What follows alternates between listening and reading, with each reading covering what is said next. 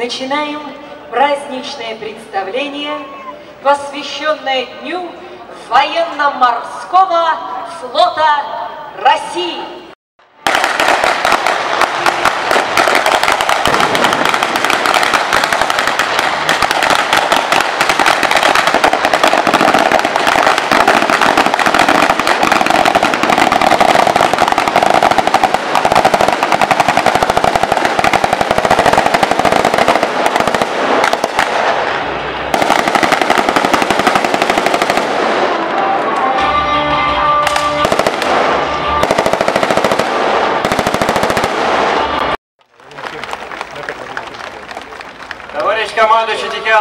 Востока. Силы войска Востока Проведение военно-спортивного праздника готовы, доложил вице-адмирал Ригуль.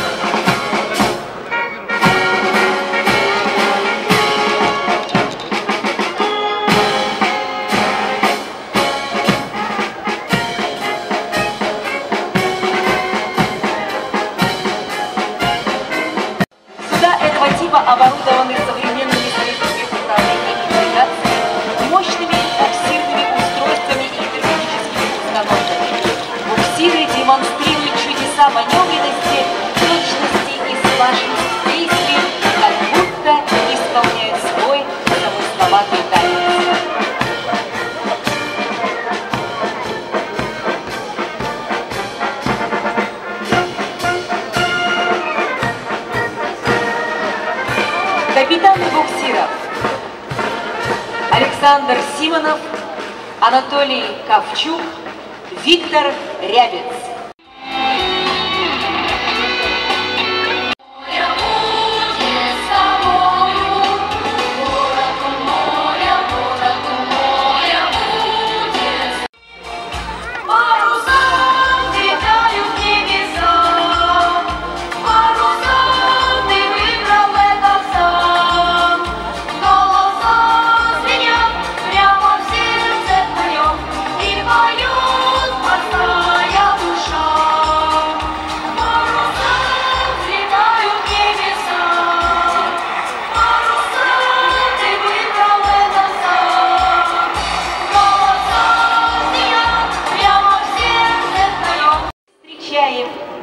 туда. По свидетельствам морских историков, истоки праздника Нептуна следует искать в те времена, когда португальцы обогнули мыс Доброй Надежды. Их парусные суда, попав в полосу безвредия, вынуждены были дрейфовать неделями. А на кораблях подняли стенговые флаги и произвели орудийный салют. С веселым смехом и шутками по велению морского владыки свита Нептуна окунула в купели всех участников плавания. Затем морской царь поздравил экипажи с благополучным переходом в его южные владения и пожелал им удачи. С тех пор этот веселый морской праздник стал на русском флоте традиционным.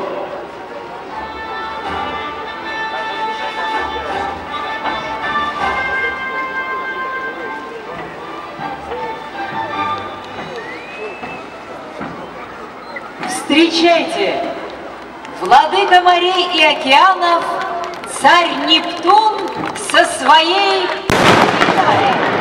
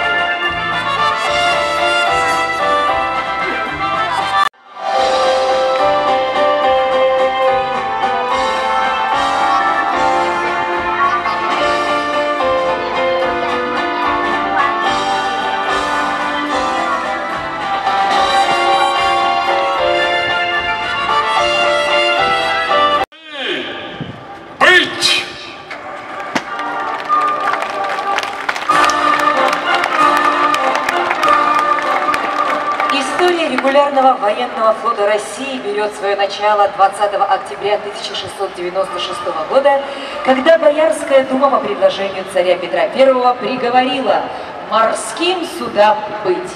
На протяжении истории русские, а после советские военные корабли можно было наблюдать на всех широтах морей и океанов, выполняющих Корнилова, Макарова, Кузнецова. Россия – великая морская держава. Это объективная реальность. Это военная безопасность.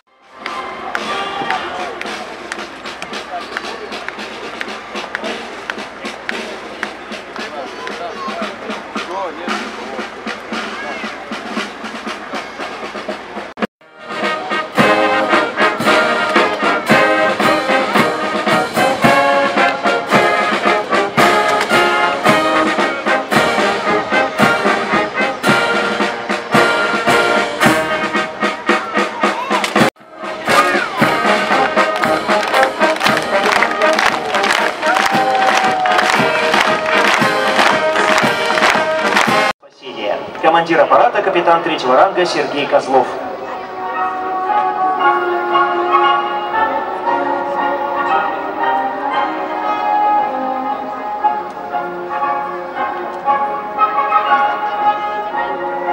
Спасательный глубоководный аппарат АС-40 совершил погружение.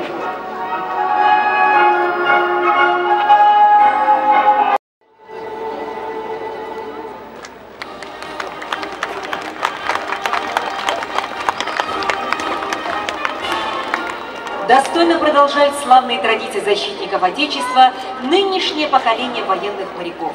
Они настойчиво осваивают современное оружие и боевую технику, демонстрируют свое мастерство в ходе учений и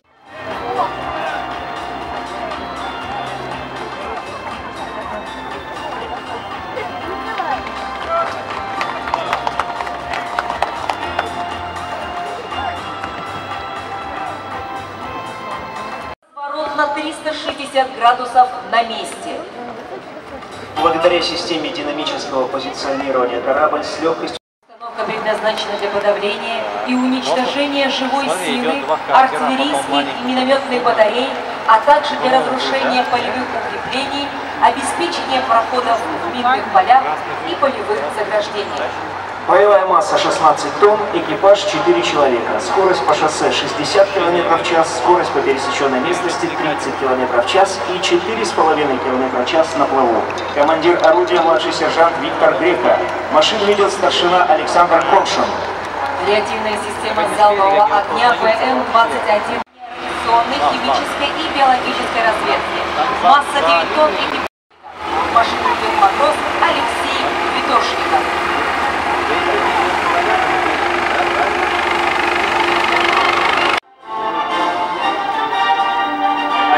обратите внимание, слева между зданиями от трибун спасательное судно Игорь Белоусов производит прием на борт подводного аппарата АС-40.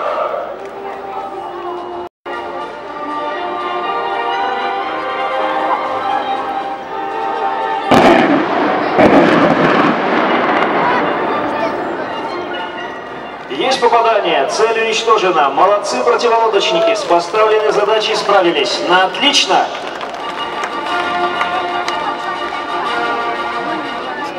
На акватории басовые тральщики.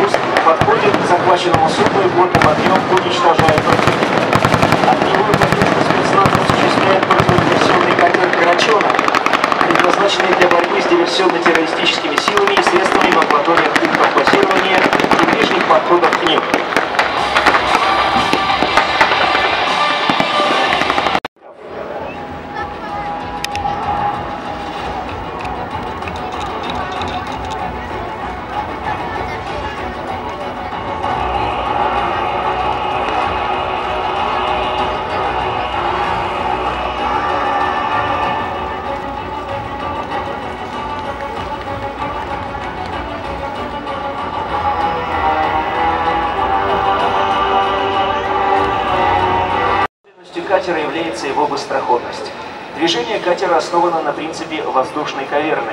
Она изолирует большую часть корпуса от контакта с водой, что позволяет развить скорость более 30 узлов. Катером командует старший мичман Ильфат Аюпов.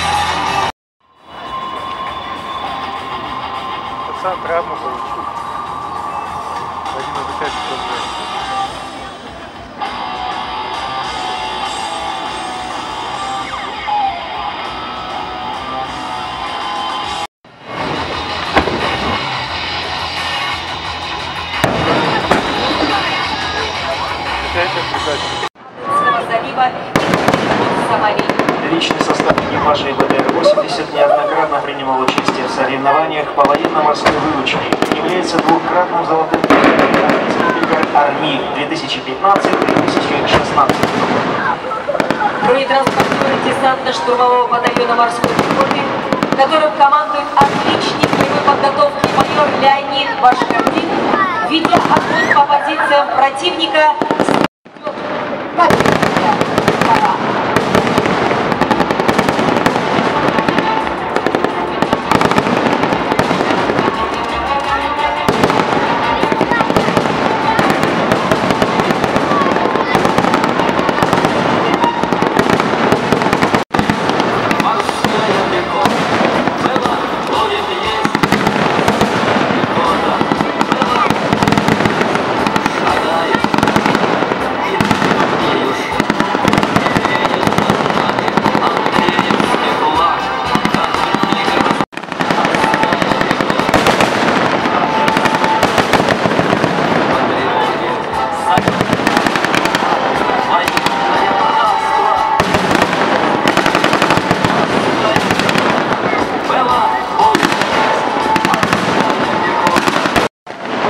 Подразделение морской пехоты под командованием капитана Владимира Хамутова. БТР-101, водитель-матрос Александр Бадмаев.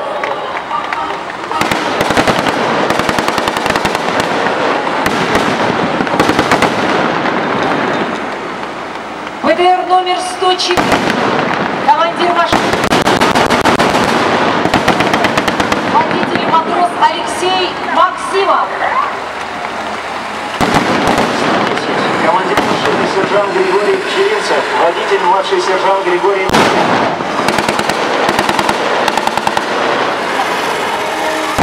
номер 111, командир машины Виталий Дубин, водитель матрос Георгий Вераульев. БТР номер 100. Машина старший сержант Андрей Диулин, водитель младший сержант Дмитрий Важенин. Старший сержант Дмитрий Шиковал, водитель младший сержант Александр Семенов. БТР номер 116. Командир машины сержант Кирилл Смирнов, водитель матрос Григорий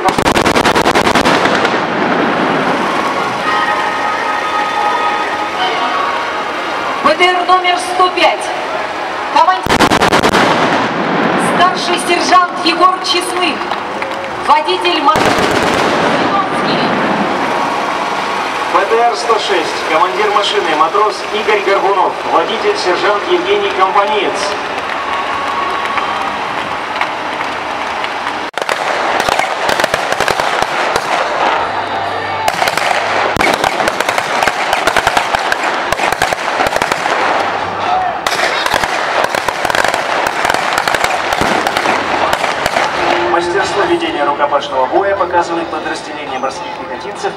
Командованием отличника военной подготовки, мастера рукопашного боя, старшина Руслана Филиппова. Враги называли вас «Черная туча». Друзья называли вас «Гвардия флота».